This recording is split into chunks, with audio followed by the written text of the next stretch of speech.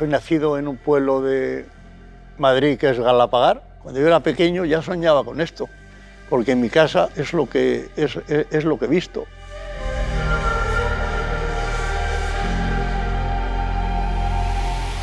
La pasión de una familia que tenía un... era como una enfermedad. Esto, una- mi padre era un aficionado y pues es una cosa que, que se transmite de pequeño y hemos estado toda la vida eh, con el campo y, los ganados, bravos y mansos. Soy ingeniero técnico agrícola, pero mi vocación ha sido la ganadería.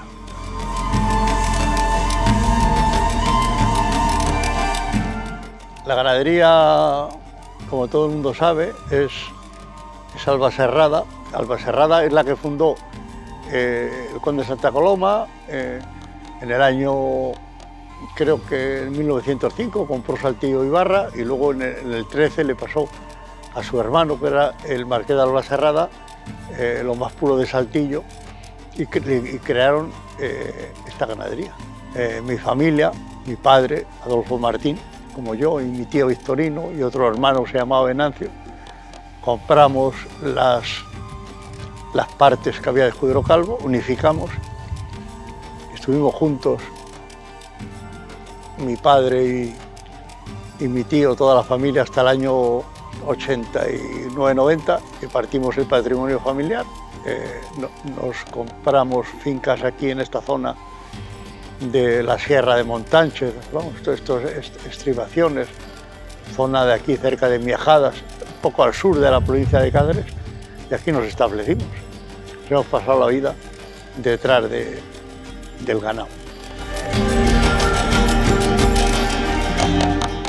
Hemos intentado mantener eh, pues el origen de, este encaste, eh, eh, que tira más a saltillo, y hemos intentado pues, pues una formología de un toro con que tiene bastantes pitones, corni, eh, en fin, toro con, suele ser un toro con cara, y luego con unas cualidades que tiene de humillar, de tener temple, buscando siempre saltillo. Un toro que se puede torear perfectamente, que humilla más que ninguno, que tiene, pero luego es un toro que tiene las dificultades del, de- de- de- del toro encastado cuando sale encastado y el toro y el toro fiero, que también le gusta el toro fiero, y el toro, como es, bueno, que tenga un interés en la plaza sobre todo. Tú estás continuamente seleccionando.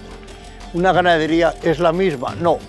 Han pasado 20 años, los reproductores no son los mismos, la ganadería es la misma, pero, pero lo que tú has seleccionado es lo que, es lo que está saliendo. Lo que pide la, la afición en el momento, lo que pide, eso también, los ganaderos también van buscando eso.